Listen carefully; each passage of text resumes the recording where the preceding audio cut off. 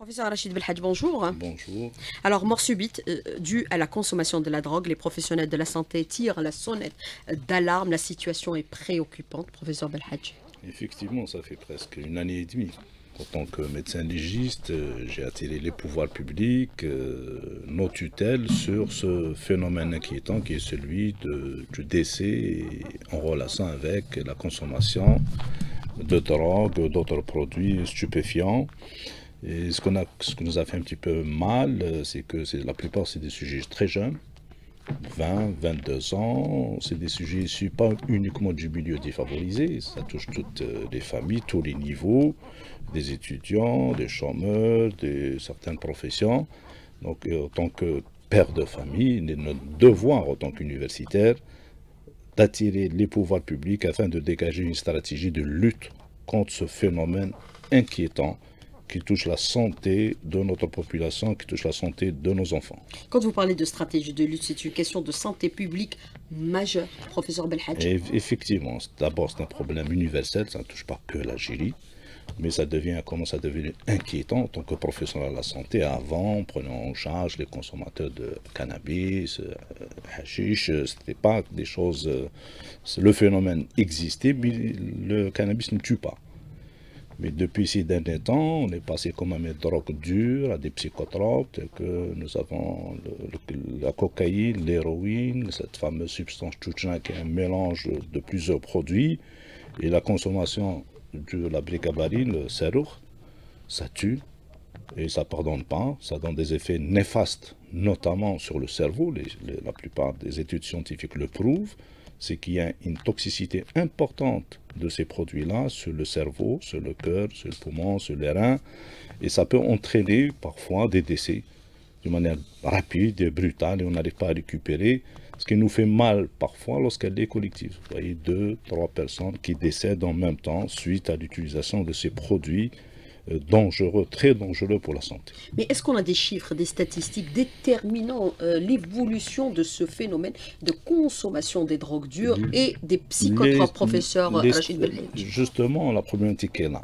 C'est que nous avons des données statistiques euh, émanant soit des services de sécurité, service juridique de la justice, il y a l'Observatoire aussi, l'Office national de lutte contre la drogue, il y a des études éparses faites par des, nos collègues psychiatres, des toxicologues, des légistes, mais dommage, on n'a pas des chiffres exacts, ça reste encore un chiffre noir sur euh, l'ampleur du phénomène, notamment ce qui concerne les overdoses, c'est-à-dire ces décès qui sont en relation avec la consommation accrue, parce qu'il y a un phénomène d'échappement, il y a des gens qui décèdent, on n'arrive pas à poser le diagnostic.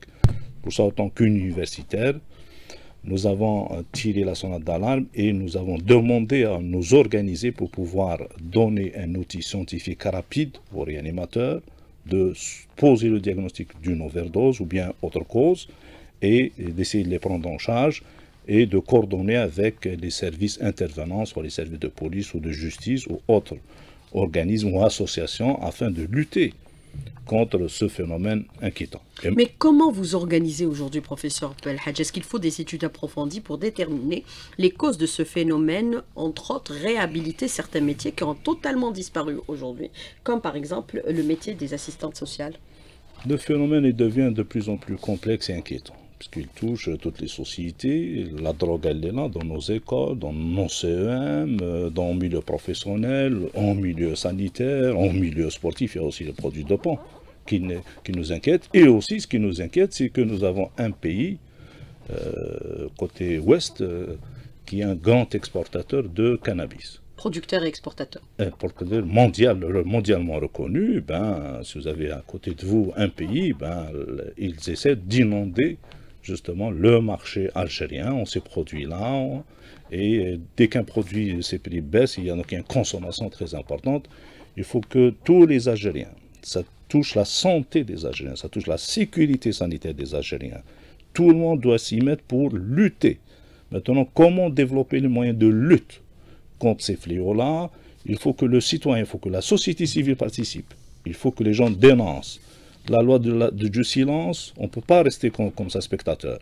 On ne doit pas rester, ne pas participer avec les services de sécurité, bien les associations ou les autres secteurs pour lutter contre ce phénomène-là. On n'a pas le droit en tant que citoyen de, de, voir des gens en train de vendre devant des écoles, devant des CEM, de connaître des gens qui s'enrichissent rapidement illégalement. C'est la drogue. C'est évident. Et ce qui nous inquiète, c'est des tonnes, euh, nous sommes en train de constater, c'est des, tonnes et des tonnes de cannabis qui, proviennent du Maroc et qui, qui intoxiquent euh, les Algériens, notamment les jeunes. Mais aujourd'hui, quand vous dites il faut euh, s'impliquer, il faut des études, il faut mettre aussi un observatoire de vigilance pour surveiller l'évolution de ce phénomène. Il faut se donner les moyens, c'est-à-dire scientifiques et techniques, pour pouvoir mettre en place une stratégie de lutte contre le phénomène de la drogue que nous savons aujourd'hui étant euh, euh, en, grand, en, croissance constante par rapport à la consommation. Et ça touche toutes les franges de la société. Pour vous dire que l'État n'a pas fait, non l'État, ils ont créé l'organisme, l'Office national de lutte contre la drogue, qui est sous la tutelle du ministère de la Justice. Il y a le ministère de la Santé, il y a l'Institut national de santé publique qui essaie d'organiser les choses. INSP. Il y a l'université, il y a nos collègues sociologues qui essaient de faire des travaux. Ce qui manque, justement, c'est moyens de communication entre différents intervenants et en modernisant justement leurs moyens de communication. Et il faut une coordination entre les sûr, Il faut créer un observatoire doté de tous les moyens. Pour assurer cette coordination. Bien sûr, de coordination pour être plus efficace et ne pas laisser comme ça des, occasions. Euh, il y a la journée mondiale de lutte contre la toxicomanie, on organise quelque chose et après il n'y a plus rien, chacun travaille en solo.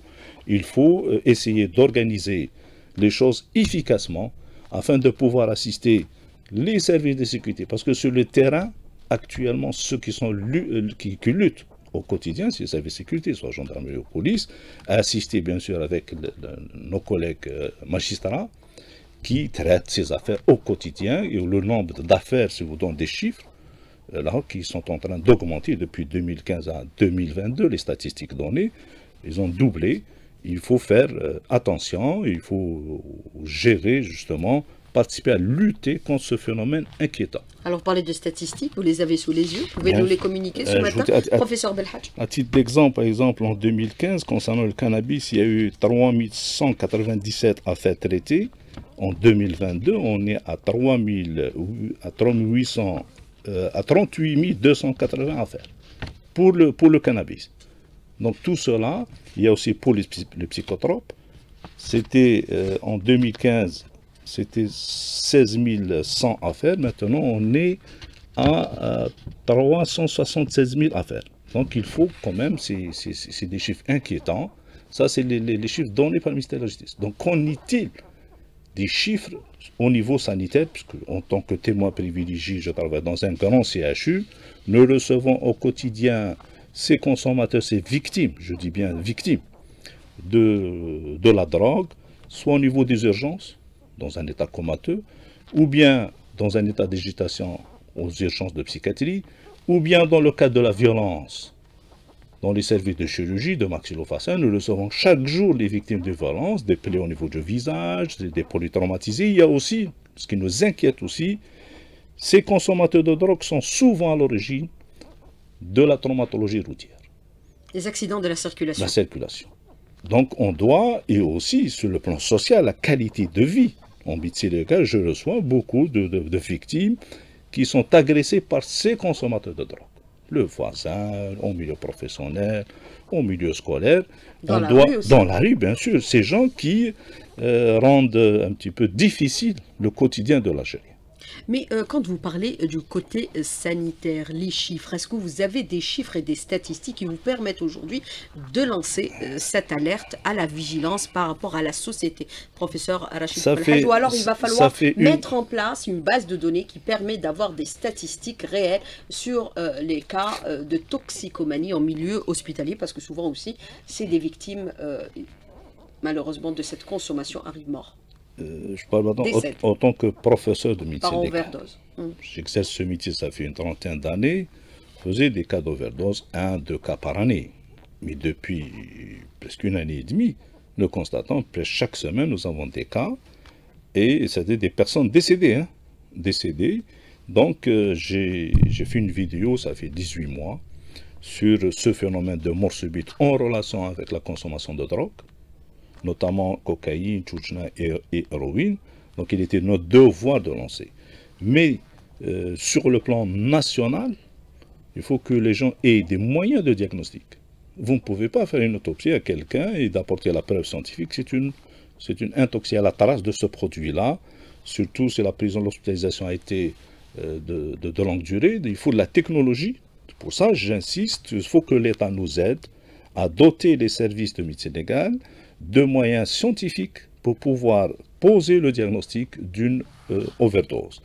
Sur le plan euh, sanitaire toujours, on est dans l'ère de la numérisation.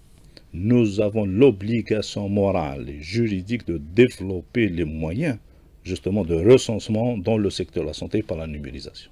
Il faut y aller vers le signalement obligatoire, comme les maladies professionnelles, la déclaration obligatoire. Il faut y aller un signalement obligatoire de ces cas de personnes par, qui décèdent par, overdose ou bien qui ont été victimes d'une intoxication aiguë à une drogue donnée. Alors quand on parle aujourd'hui de la nécessité de mettre en place des mécanismes de prise en charge de ce phénomène dans notre société qui prend de l'ampleur par rapport à cette consommation, par rapport à cette volonté aussi d'inonder notre euh, marché et notre jeunesse de drogue, est-ce qu'il faudrait aussi mettre en place des formations dédiées à la prise en charge de la toxicomanie, former par exemple des toxicologues dans euh, la nomenclature de médecine actuellement, professeur Rachid Belhadj, parce que certains métiers, malheureusement, il faut le dire, sont en extinction. Euh, pour le ministère de la Santé, ça fait des années qu'on a commencé à créer ce qu'on appelle des addictologues. C'est un CES destiné à des médecins généralistes. On les forme pendant deux, années. Si, euh, il y a la, création, je crois, de 48 centres hein, d'addictologie. L'État, le secteur de la santé essaie de s'organiser, mais ce n'est pas, euh, pas suffisant pas suffisant. Nous avons commencé, ça fait presque 2-3 années, à apporter la drogue, ce qu'on appelle la drogue substitution. Il y a 200, il y a Blida à Chiraka, quelqu'un qui est... Parce que la drogue, lorsque quelqu'un consomme de la drogue, il devient addict. Il devient dépendant, complètement dépendant de ce produit. Donc pour le, traiter, on ne va pas le sévrer, puisqu'il y a le syndrome de sévrage. On lui donne ce qu'on appelle une drogue de substitution, c'est le Cibutex, mais ça doit être contrôlé par le médecin psychiatre, bien contrôlé. Le patient doit se présenter lui-même chaque jour pour prendre son comprimé. Nous avons commencé au niveau de deux centres. J'espère qu'on pourra le généraliser à l'échelle nationale afin d'assister ces gens-là qui sont réellement en souffrance. Mais est-ce que cette formation est adaptée aux drogues consommées actuellement, professeur Rachid oui, puisqu'on sait que pour, par exemple, les psychotropes, c'est des compositions chimiques souvent méconnues par nos médecins? Justement, le diagnostic. Ici, qui posera le diagnostic de ces drogues, nous avons deux laboratoires, le laboratoire de la gendarmerie nationale de Boucherville à l'échelle nationale et aussi le laboratoire de la police scientifique qui ont de grands moyens de, diagnostic. Mais le quotidien, le réel, à 2 heures du matin, c'est le centre hospitalier universitaire, c'est le centre de réanimation. En dehors du service de laboratoire toxicologie de Bebloued, le reste, euh, ils n'ont pas de moyens de diagnostic en dehors des grands centres hospitaliers à l'échelle nationale. Il faut aider il y a le Centre national de toxicologie aussi. Il faut créer des mécanismes justement de coordination afin de prendre en charge rapidement le volet diagnostique de euh, la consommation d'un produit. Mais euh, la, frange de la population la plus concernée aujourd'hui, ce que vous m'avez montré avant cette émission, des images extrêmement choquantes de jeunes, 16 ans, 17 ans, 18 ans, euh, décédés suite à des overdoses. C'est des sujets jeunes. Très jeunes. Très jeunes.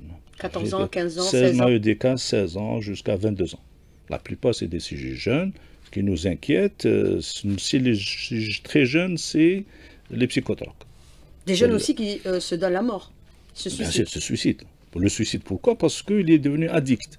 Lorsque quelqu'un qui est addict, il est en souffrance extrême sur le plan physique, sur le plan moral, sur le plan social, il abandonne, tout. Même pour le sujet adulte, euh, il y a une déchéance sociale, il est exclu de son travail, il divorce, donc socialement, il est diminué. Ce qui le pousse, il ne trouve pas une assistance réelle, ni sur le plan médical, ni sur le plan social. Il faut aider ces gens-là. Malheureusement, parfois, ces gens-là sont à l'origine, nous avons constaté en médecine légale, de violences. Violence routière, violence physique à l'égard même de leurs propres parents, parfois malheureusement des crimes, et aussi parfois des cas de violence sexuelle.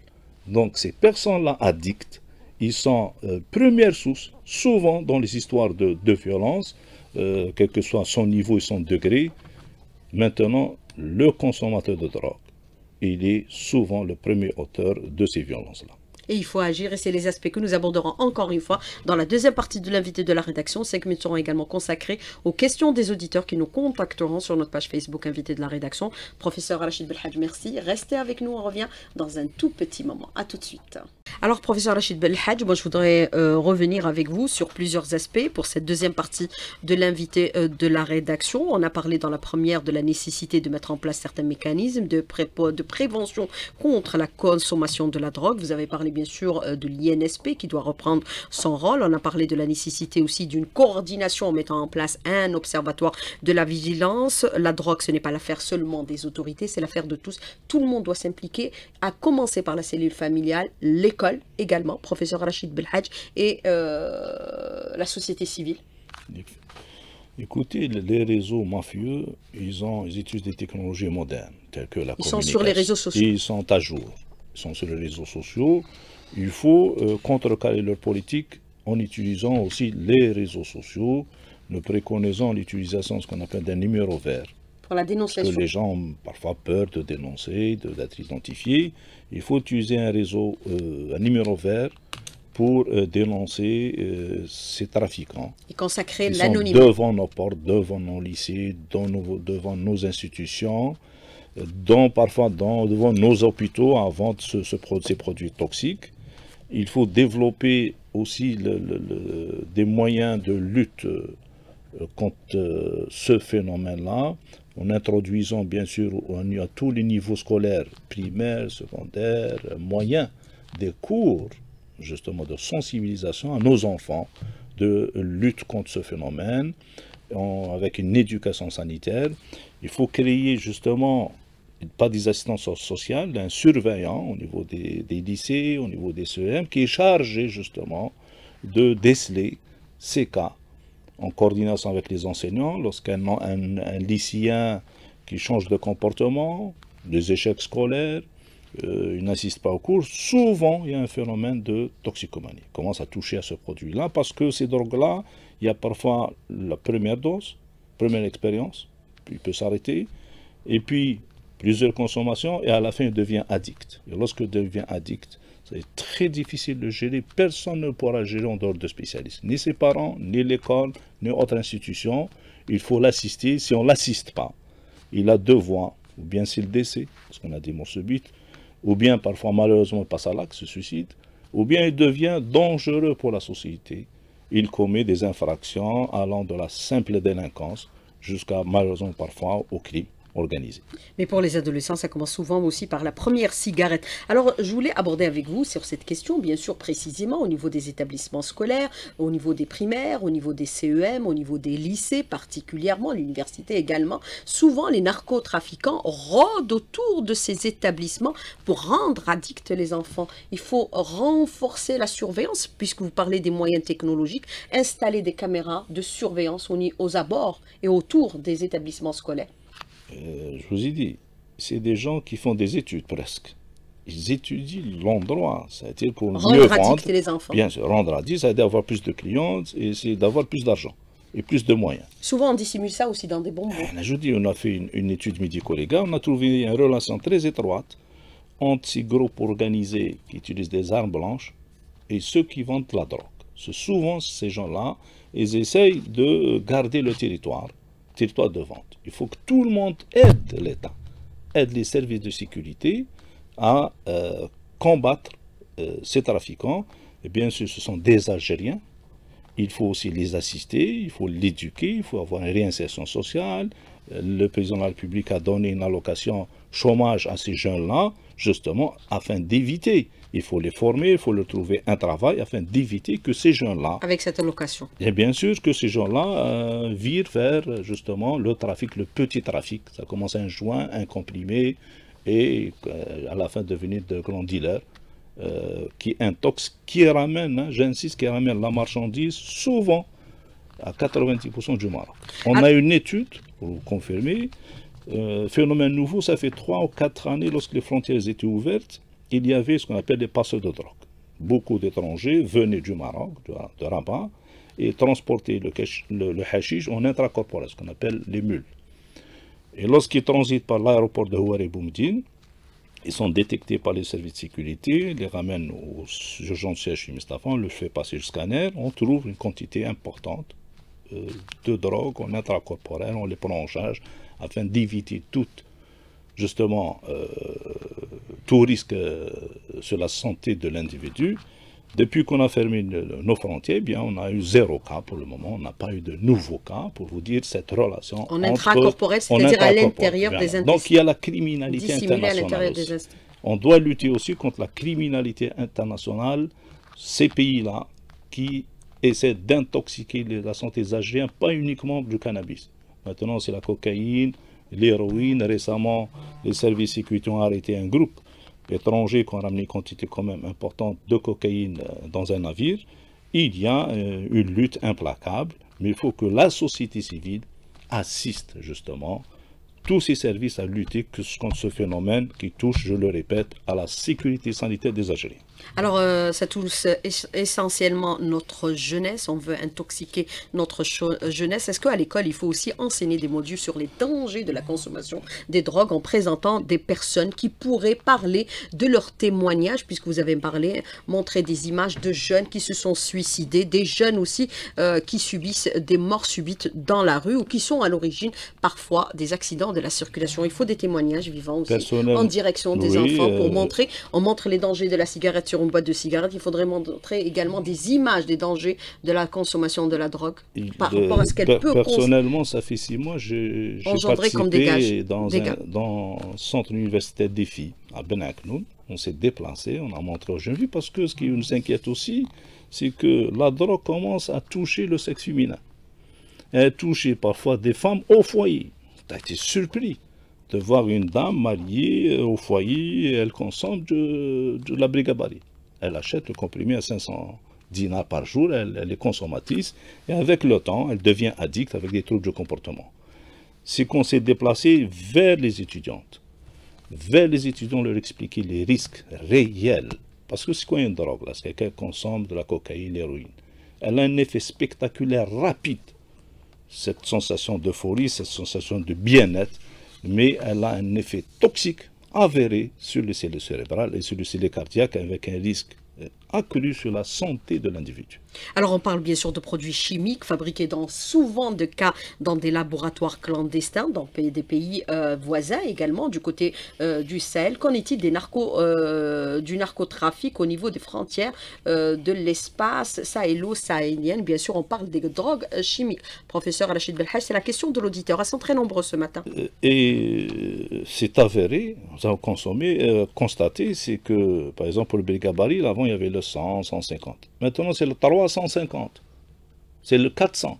On, c'est fabriqué par des laboratoires qui essaient d'inonder le marché algérien. Et, les services sécurité ont ça montré... Ça vous rend comme un zombie. On a vu des, images de zombies. ça s'appelle zombie. Le, le, ces drogues-là sont parfois à l'origine justement des troubles du comportement. Quelqu'un en milieu familial il se déshabille euh, nu, il fait des gestes euh, inexpliqués, et ce qui est dangereux parfois il met fin à sa vie. C'est-à-dire le suicide, on le vit. Comme il peut tuer les siens Bien sûr.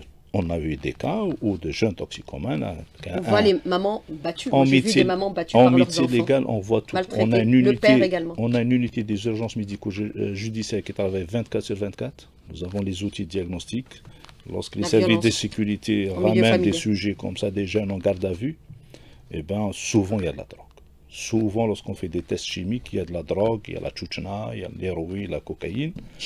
Et le, je vous dis, le, le, le, le bandidisme, c'est comme le cellule cancéreuse. Il ne s'arrête pas. Il se développe, ça donne des métastases, la même chose. il n'y a pas de politique de prévention, de lutte efficace, ça va toucher d'autres activité. Qui doit la faire, cette politique de prévention L'INSP et d'autres instituts également Professeur Lachid les médecins, ils ont une part de responsabilité il faut que la chefferie du gouvernement c'est-à-dire ait une politique claire et efficace en associant les secteurs qui sont sur le terrain. Beaucoup de théories. Je suis professeur en médecine, je travaille aussi à chez Mustafa. Il y a eu plusieurs journées, plusieurs tentatives, mais sur le terrain, réellement. Il faut passer du théorique à la ah pratique. Ah oui, il faut passer vers la pratique, d'associer des gens, des associations sérieuses, des, secteurs qui interviennent. Il faut créer des mécanismes de coordination, ah oui, de coordination afin de lutter efficacement tout le monde, sociologue, psychiatre, psychologue, euh, légiste, médecin, réanimateur, euh, assistant social. Il faut se déplacer dans les quartiers, parler aux jeunes, dans les écoles également. On a des, ça veut dire il y a le volet sensibilisation, et il y a maintenant le volet, il faut dénoncer. Il faut, répressif aussi, ah, bien sûr. Mais on a mis en place des mécanismes. Il y, a, il, y a, il y a une loi, il faut quand même toutes ces forces, toutes ces synergies travaillent dans un seul but. C'est de lutter contre ce phénomène et aussi prendre en charge ces toxicomanes. Mais est-ce qu'il faudrait aussi faire la distinction entre le consommateur victime, bien sûr, de ces narcotrafiquants et le narcotrafiquant? Parce que souvent, il y a la confusion. Vous êtes appréhendé avec euh, une cigarette à la main, vous purgez une peine de 3 à 4 ans. on a eu des cas. Et ça vous fait de vous, au bout de 4 ans, un criminel? Ces trafiquants, ces dealers, ils n'ont jamais touché une goutte d'alcool ou pris un comprimé de bric à Paris. Hmm. avec des sommes euh, faramineuses. Par contre, de l'autre côté, vous trouvez des jeunes de 16 ans, des jeunes filles de 17 ans, consommatrices de tchouchna. Ce qui est dramatique dans nos études, c'est que lorsqu'on a pratiqué des autopsies, souvent ces jeunes-là, maintenant un phénomène nouveau, lorsqu'ils utilisent des seringues jetables, c'est qu'il y a HIV, hépatite C, et la nouveauté ces derniers temps, c'est ce qu'on appelle les endocardites bactériennes c'est que l'infection touche justement les structures internes du cœur. Nous avons eu beaucoup de jeunes ces derniers temps hospitalisés dans un état de défaillance cardiaque et choc septique en rapport avec l'utilisation de ces seringues-là. Ils les passent. Ils échangent la seringue. Il faut trouver des solutions de lutter justement contre l'utilisation par les mêmes patients de la même seringue.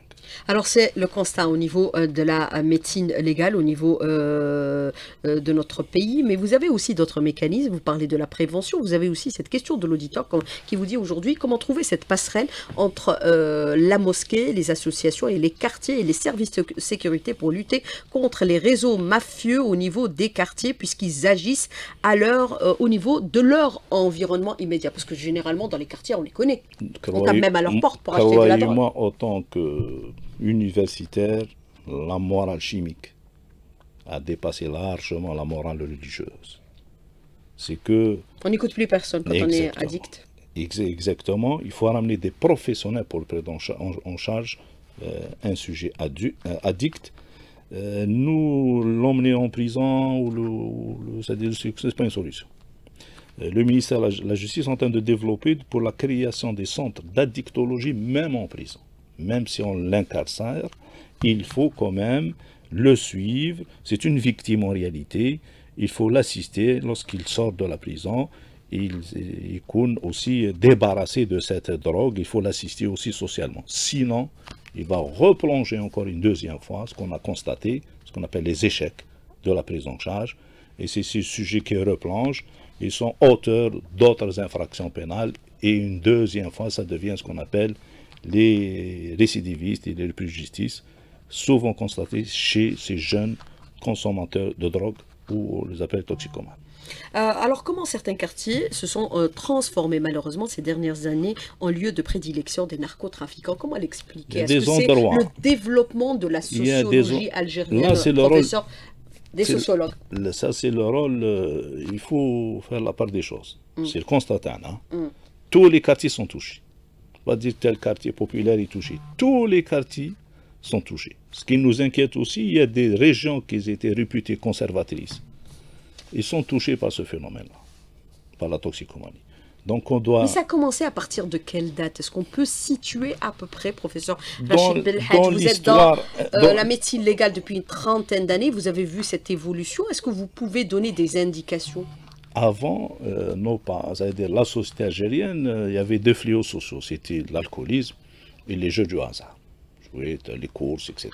Puis on est passé, dans, avec l'avènement du terrorisme, on est passé vers la consommation, il y a moins de consommateurs d'alcool et de jeux du hasard, on est passé vers la consommation du cannabis. Il y a un lien direct. Il y a un lien direct. Et après. C'est ça les narcotrafiquants. Exactement. exactement. Et après, vers les années 2015, 2016, 2014, je dirais, ces dix dernières années, on est passé vers une autre étape.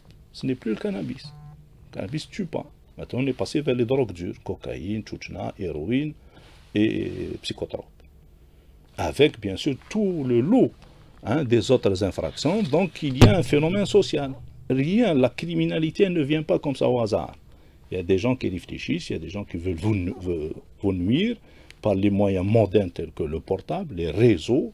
On vous voit un produit, on vous le ramène maintenant à la maison. À la maison, en toute sécurité, avec tous les moyens possibles. Donc on doit, il faut que les parents surveillent leurs enfants.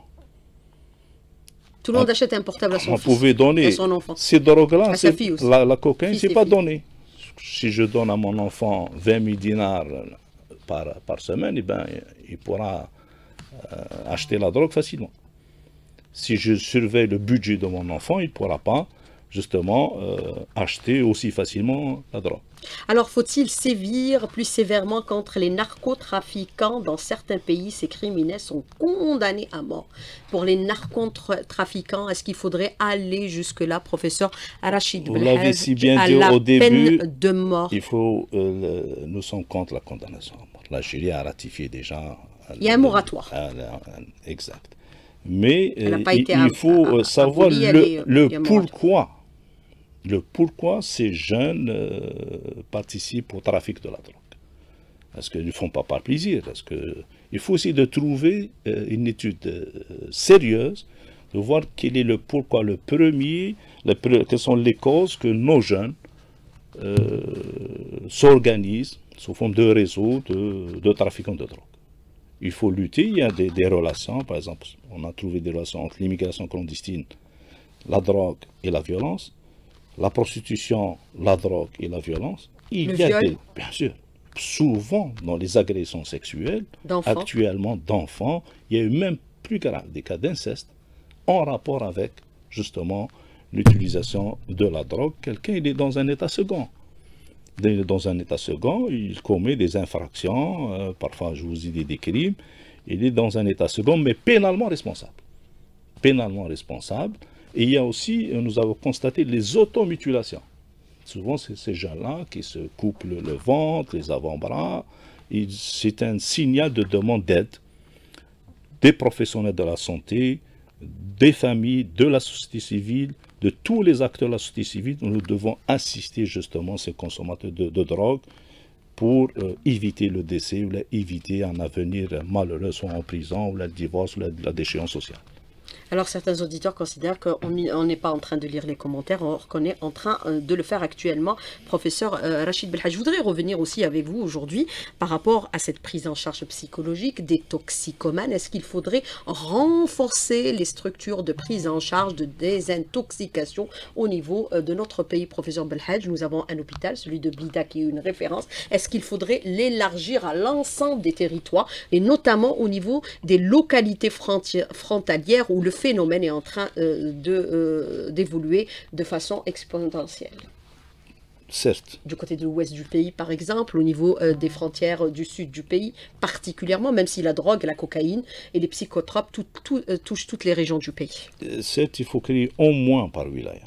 Chaque wilaya, il faut créer des centres de, référents avec tous les moyens possibles et avec des vrais professionnels. Il faut ramener des gens qui sont formés il faut leur donner des moyens de communication, des moyens modernes. Il faut leur donner ce médicament.